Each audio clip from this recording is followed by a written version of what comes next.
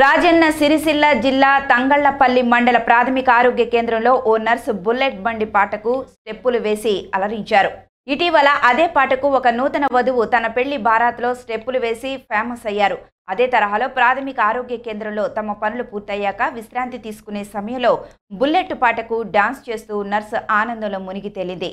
ప్రస్తుతం ఈ video social మీడియాలో చక్కర్లు కొడుతూ తెగ వైరల్ అవుతోంది.